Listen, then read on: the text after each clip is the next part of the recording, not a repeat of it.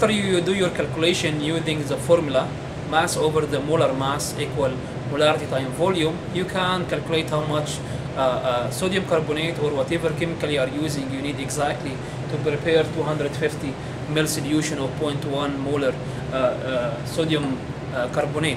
After you do your calculation, you can use the, the balance after that to uh, measure the mass of your chemical. So first of all, you put your the uh, uh, weighing paper over the analytical balance or the top loading balance. After that, you have to turn where you return everything to be zero. After that, you use your spatula to take the chemical out.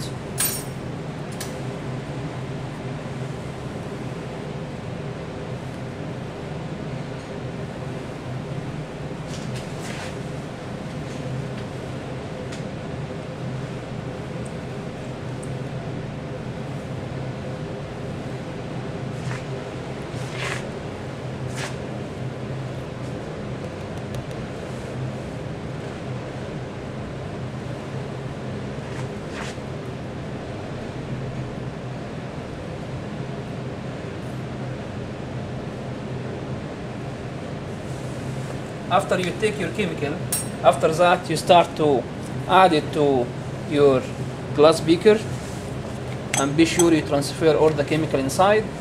You add the distilled water to that one and after that you start to dissolve your chemical. Your chemical have to be completely dissolved in, in water before you transfer it to the فوليومتريك فلاسك